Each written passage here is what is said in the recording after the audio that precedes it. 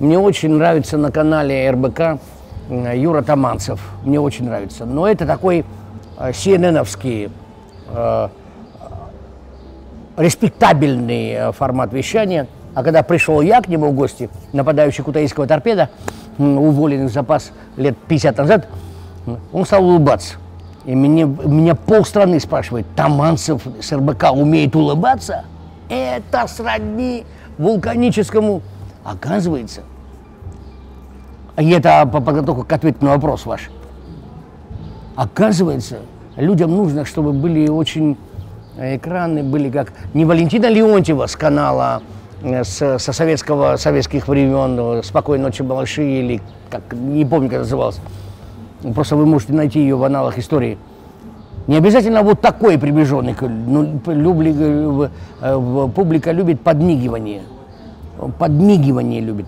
Не в буквальном смысле «я твой, ты мой», а подмигивание как, э, как, как, э, как нам- намек, намек на то, что мы товарищи.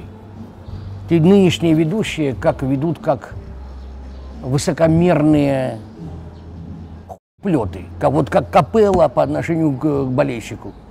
Ну вот он, как, чтобы у людей было зрительное представление, о ком я говорю, вот Фабио Капелло ведет себя как будто русский болельщик, для него никто. Он не, ну, ну, ну, я, это я здесь решаю. Нихуя ты не решаешь, чмо ты ебаная, блядь.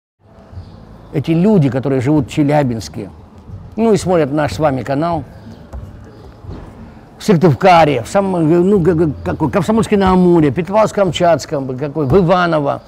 Эти люди достойны уважения. Им нужно, чтобы ведущий был серьезный, ну, а тариковский немного, такой, хулиганистый. Мне не хватает ведущих ду- э, способности дурака валять. Как поворачиваешься, как ка- камера, Temptations, как ка- ка- камера, и ты дурака валяешь, и говоришь в другую сторону. Например, ты говоришь здесь, снова бомбили иракские голода, города, потом поворачиваешься и говоришь, в Кремле Владимир Путин наградил писателя Фазиля Искандера, одного из лучших писателей, орденом таким-то. Литература побеждает зло. Это был Юра Таманцев, канал «Грузинский РБК», посвященный Атаре Кушнашвили. До завтра. Дай надежду.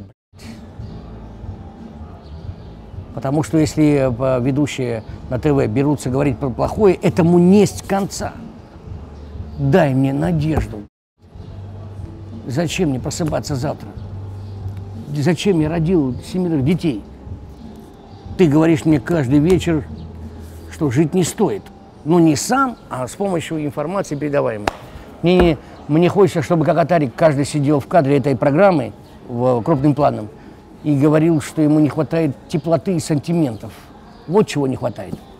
Тепл... Сантиментов. Это вынесем главным словом.